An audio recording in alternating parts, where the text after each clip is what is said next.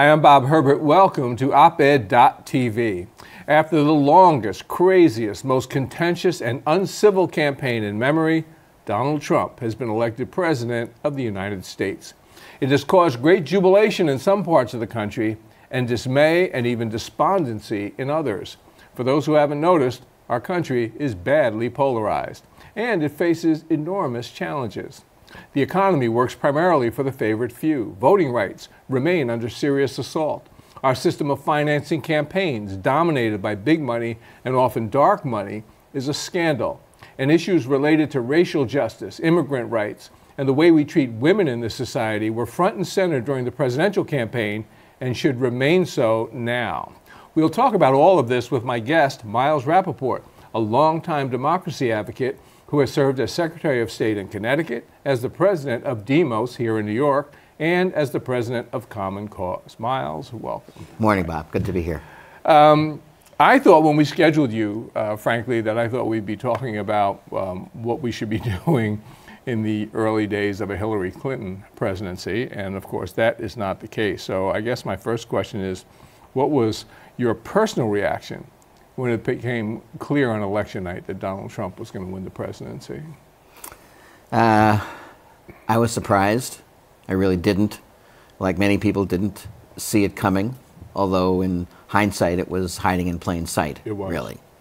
Um, and my first uh, uh, was a, uh, feeling was a sense of real concern for the people who were most vulnerable. Right. In at least in terms of the, the, the conversation during the campaign i.e., people who are uh, uh, affected by immigration policies, uh, people who are in need of health care. So all of those, uh, all those things. But I also think that there's a lot to chew on, a lot to learn, and a lot to go forward with. Since so many people in, in the waning days of the campaign, even Republicans thought that Trump was going to lose.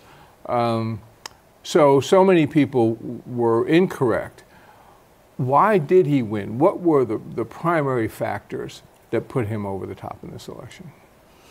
I think there were really three things, and it's what I mean when I say it was hiding in plain sight. Uh, you know, on the one hand, uh, people were clearly, clearly dissatisfied. So this was a change election. They were seeking a change. Uh, you saw it in Bernie Sanders' is unexpectedly very strong uh, challenge to Hillary Clinton during the primaries. You saw it in in Trump uh, you know, dispatching all of those people in the uh, um, in the primary in the Republican primaries, and you saw it in the kind of wrong track, right track kind of uh, polling information. So that's number one. Uh, number two, I do think that this uh, was a was a an election that was about race. Yeah. There's no question that Trump appealed to the kind of sense of status anxiety loss among white voters, particularly white men um, and that uh, the fear of the kind of new American electorate was a, was a real motivating factor. But the third thing was 40 years of an economy that has disregarded the needs of the working people in the middle right. class as well as poor people. We've said it um, all along. I mean, you wrote it in the in the in the New York Times, uh, you know, more times than you can count on uh, on uh, on 20 hands, um, and so did I in, ma- right, in many absolutely. situations. The, the, all of the income gains in the, since the recession of 2008 went to the 1%. All of them. You know, go back 40 years, the, the 90% of people in America have either seen their wages be stagnant or declining.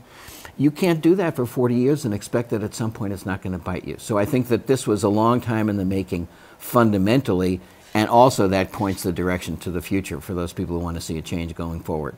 Now, one of the ironies, of course, is that so many of the problems that you've talked about, I mean, the Democrats were complicit in, in, the, in the situation, but so many of the problems you talked about for working people and the poor were driven by Republican administrations and Republican policies, and yet we have much of the electorate returning to the Republicans uh, to correct those um, ills now. Why do you think the GOP has not taken more blame for this, the, the situation facing working Americans and poor people? You know, the Republican Party has always had a very interesting uh, catch 22 kind of situation where they have uh, obstructed the ability of government to really do something for people. You know, we have had a much stronger health care plan. We've had a much stronger uh, level of investment in education, um, you know, and in infrastructure. If it had not been for resistance from the Republican Party. And then when government doesn't do anything to solve ordinary people's problems, they say, see, Right. government doesn't do anything to solve your problems. And they blame the Democrats who- having if the created it. Democrats So they've benefited from that in, a- in an ironic Yeah. way. Um, you know, but I think that they have some real challenges going forward as to what is the identity of that party, as do the Democrats. Right. So we're in a situation now where so the GOP controls not just the White House but both houses of Congress. What do progressives, liberals, do now? I mean, it's it's it's a pretty dire um, situation. The Supreme Court is is lost for uh, is going to be lost for uh, generations, presumably dec- uh, decades, presumably. Um, so, what's the strategy going forward for um, for progressives? What do progressives have to do right now? You know, it's I'm still processing, of course, but the, but for me, it comes down to three things that I think the progressives really need to do. One is, I think, to defend and uh, strengthen the institutions of democracy in the country. Um, actually, one positive point during the election is uh, lots and lots of people voted. There were very few reports of problems at the polls overall. You know, the kind of the sense of uh, intimidation at the polls uh, uh, didn't happen. Um, most of the voter suppression laws that were passed in legislature, state legislatures around the country were pushed back Right. uh, in the courts. So I think one thing is to make sure, and especially in some of Trump's conversation, threats to basic norms of democracy have been present. So I think the Democrats and progressives have to, one, make sure that we push back against attempts to weaken our democracy and continue to expand it. Number two, there is, the, is to continue the conversation on race in this country. There can be no going backward in the progress that has been made uh, in opening up uh, opportunity for communities of color, uh, you know, for women in the, in the country. So the fact that there was a white lash, as Van Jones called it, Right. uh, in response, can't mean that the Democratic Party or progressives uh, go backwards on it. That conversation has to continue. And thirdly, uh, progressives have to continue to put the issue of economic inequality, economic security, economic opportunity on the country's agenda. If the Democrats don't do that, if progressives don't do it, then there's no reason for people to uh, uh, change back in a different direction. So let's look at some of these issues. You mentioned economic inequality, but some of these issues that are uh, have always been so important to um, progressives or liberals, depending on your choice of um, labels. Um, you've got the economic inequality. Um, you've got uh, voting rights. You've got campaign finance reform. Uh, you've, you've got climate change, um, which uh, Trump is on record as saying that it's a Right. hoax. Um, so, uh, is there a way to prioritize any of those things, or is there something that needs to be focused on initially and, and a strategy developed? So, for example, is it economic inequality? Is it to continue the fight for um, 15, or is it campaign finance reform? How do you make that, that kind of determination? You know, I think there are some key economic issues that ha- that were raised, were popular in a bipartisan way that need to be continued. So the raising of the minimum wage, there were four referenda around the country about raising the minimum wage. They all passed. Um, you know, the issue of debt-free college, an issue that Demos uh, first uh, Important issue, pioneered. right? Exactly. That would really make a huge difference to working families in this country if uh, you actually had the ability to send your kids to college and not go into debt or have the kids go into debt as a result of doing it. So infrastructure to create jobs, um, you know, things to support the ability of middle class families to get to, to get by, retirement security. Those are those economic issues are core. And then I think on the democracy issues, I think uh, restoring the Voting Rights Act, uh, pushing back against all kinds of voter suppression. And I do think there's an opportunity to change the campaign finance uh, uh, laws. I think Bernie had it right in the campaign about the rigged uh, campaign finance system. Trump joined in some of that critique. Uh, so maybe there's an opportunity to make some headway there. It seems to me on campaign finance that the um, the easiest way, maybe the only way, to get ahead on that would be changes on the Supreme Court. I, I just don't believe there's going to be a, a, a constitutional amendment, for for example. Um, do you feel um, that that's a, a lost cause now? The vacancy caused by Scalia's death is going to be filled by Donald Trump, and they're going to presumably put a conservative, if not a right winger, in that spot. clearly in the in the litany of things that could be completely awful in a Trump presidency, the uh, Supreme Court appointments loom very large, uh, and you really do need a Supreme Court change or uh, reversal of some of those decisions. But there are things, whether it's public financing of campaigns the way we have in New York City, um, or stronger disclosure, or putting limits on what the kind of um, secret money uh, can do uh, and levels of coordinating. There are things you can do even within the current Supreme Court rules that would make a difference. So I think fighting on that, um, but I really think fighting on voting rights uh, is a critical uh, need for progressives to move forward. And that's a winnable. That's a winnable fight.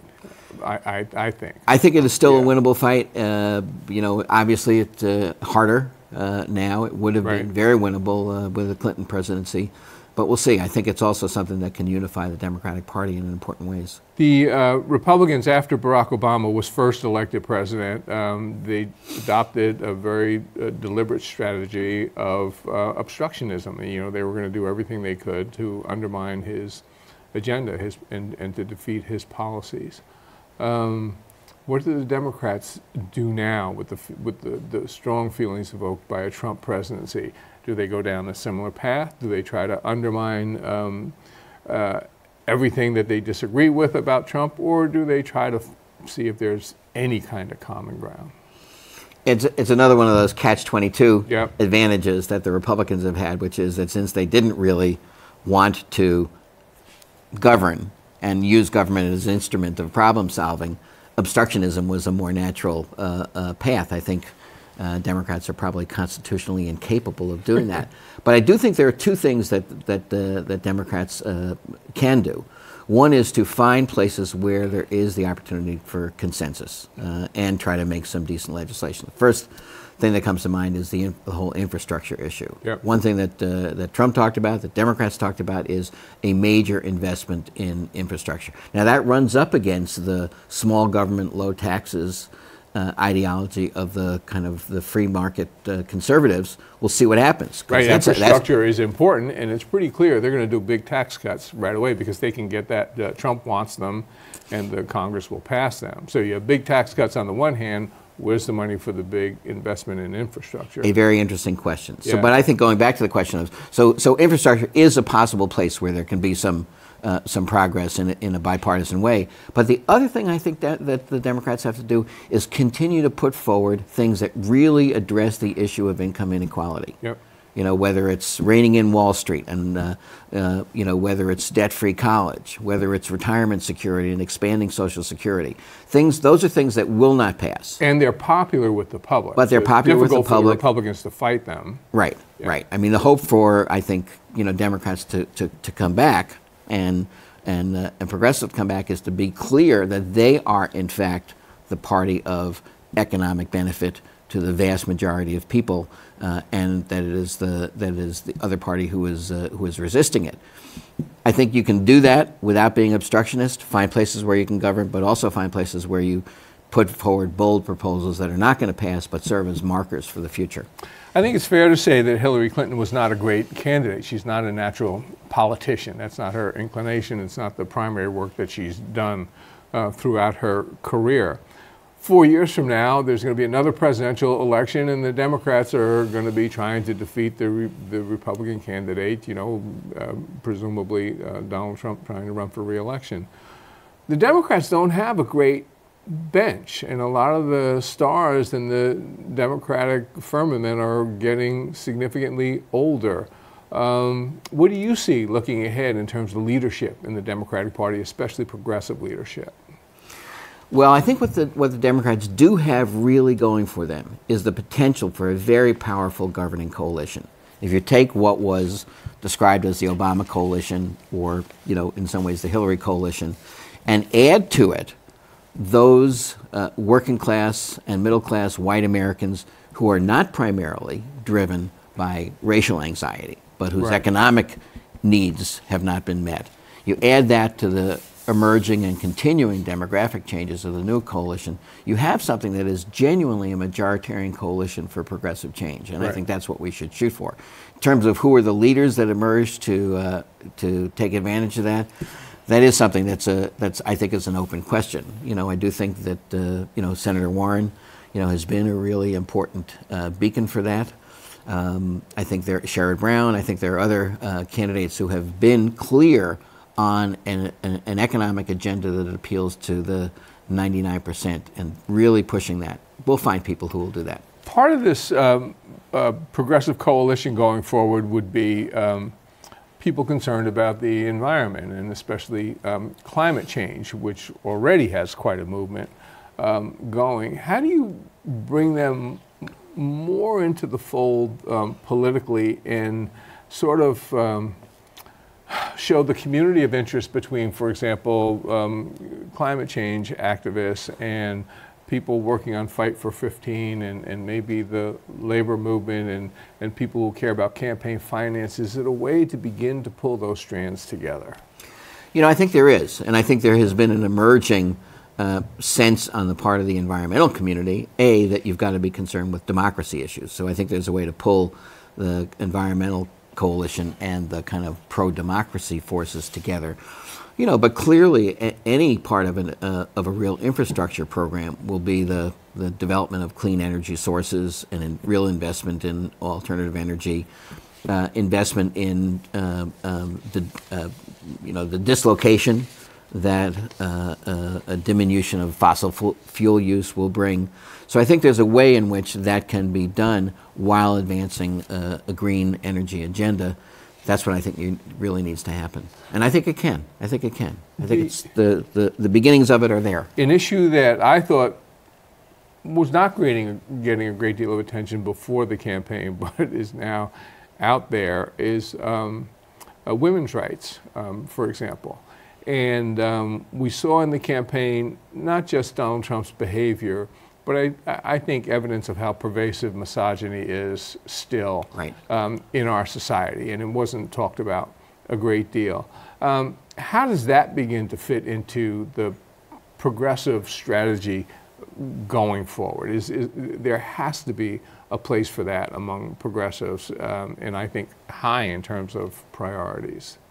You know, in some ways, the rawest nerve that Trump hit during the campaign was the issue of uh, sexual harassment Right.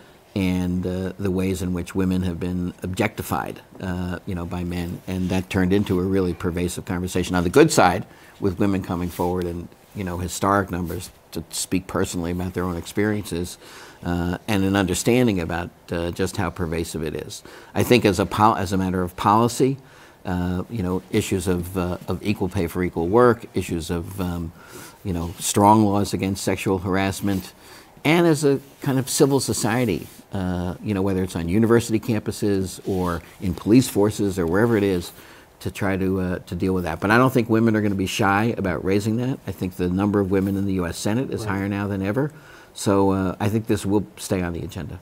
I mentioned Hillary Clinton as a candidate, but if you if you look at both Clintons, Bill and Hillary, over um, the years, they have not been stalwarts um, as far as the progressive community is um, concerned. There was a lot of um, when when Bill Clinton was president, there were um, problems um, from the left when they were viewing things like uh, so-called welfare uh, reform, uh, Democratic Leadership Council, uh, NAFTA. I mean, a- actually, any number of issues. Tough on crime. Some of the tough on crime issues and stuff. You know, um, Hillary, I think, is um, inclined to be what folks would call a moderate Democrat, even though she was pulled to the left, especially by uh, Bernie and his supporters during the campaign. How much blame can be um, apportioned to the Clintons for the defeat of the Democrats in, in, in this election? If, if, um, if they had been,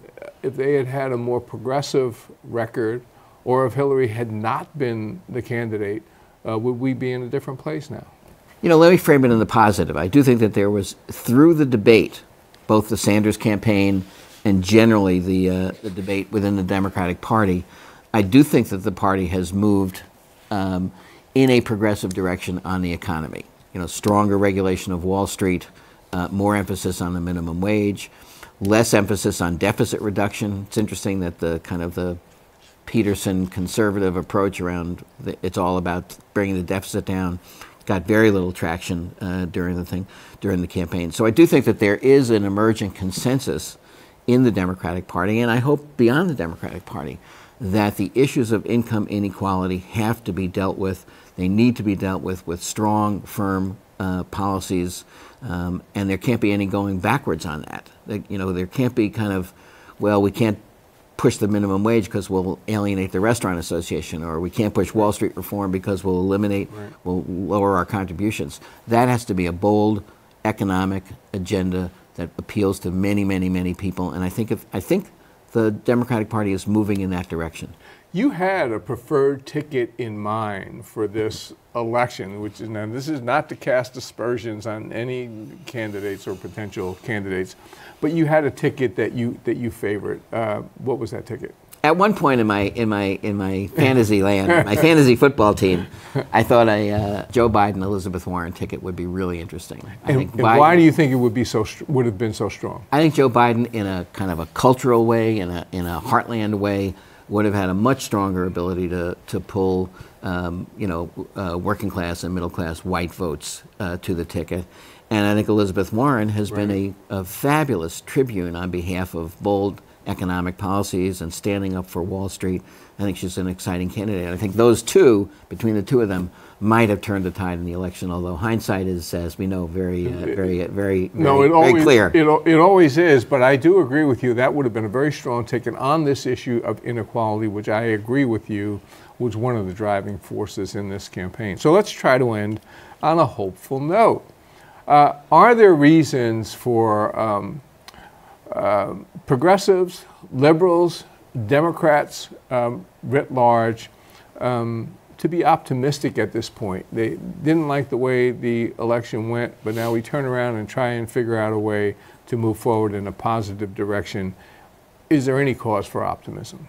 You know, I think there is. I mean, I think short term, I think we should not assume the absolute worst about what a Trump presidency will be like. I think there are many parts of, uh, of, of, of, his message. Some of, and we'll see where it goes. We'll see where it goes. Um, I think in a positive way, I think one, defending and advancing democ- democratic institutions and opening up the right to vote and bringing more people into the process and just making our democracy as vibrant and inclusive as we can is one really important plank. I think continuing the conversation on race and, uh, and building a, a, demos, if you will, of, uh, of, of the whole of our society, I think that can happen. Uh, I think it needs work. And then I think an economic agenda that really appeals to people and it isn't afraid to, uh, to, you know, to, to tax progressively, to spend properly, and to make a difference in people's lives. I think all those things have the opportunity to build that coalition that I described that I think is a strong and potentially very durable uh, progressive coalition. On that note, we'll stop. Miles, it's been great talking with you, Miles right, Bob, Thanks always. Take care. Okay. Good to um, see you. We'll be back in a moment with a final word.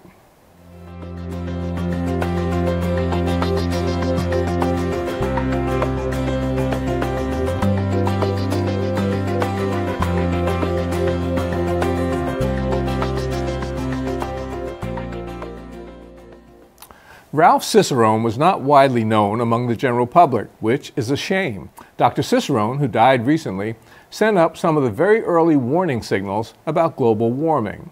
He was on the case way back in the 1970s. Nearly three decades later, he was the head of a panel at the National Academy of Sciences that concluded, without equivocation, that greenhouse gases were accumulating in the Earth's atmosphere because of human activities, and as a result, air and ocean temperatures were rising alarmingly. That panel of 11 leading scientists had been commissioned by President George W. Bush, and their findings were unanimous. Unfortunately, those findings didn't seem to make much of an impression on Mr. Bush. As the New York Times reported in Dr. Cicerone's obituary, the 11 scientists were outraged that Mr. Bush had recently rejected the International Global Warming Pact known as the Kyoto Protocol. Fast forward to 2016. We are experiencing one record hot year after another. The seas are rising, ice caps are disappearing, glaciers are melting, storms are becoming ever more intense, and polar bears have been added to the endangered species list. And yet, the man that we've just elected president, Donald Trump, argued that global warming is a hoax cooked up to benefit the Chinese. Other members of Mr. Trump's party, the Republican Party, have been extremely equivocal on the issue of climate change, with candidates and office holders reluctant to accept the scientific findings and in some cases denying that the climate is warming at all. How can this be in a so called advanced country a decade and a half into the 21st century? The answer, of course, is that we are not nearly as advanced as we like to think we are. That's all for now. See you next time.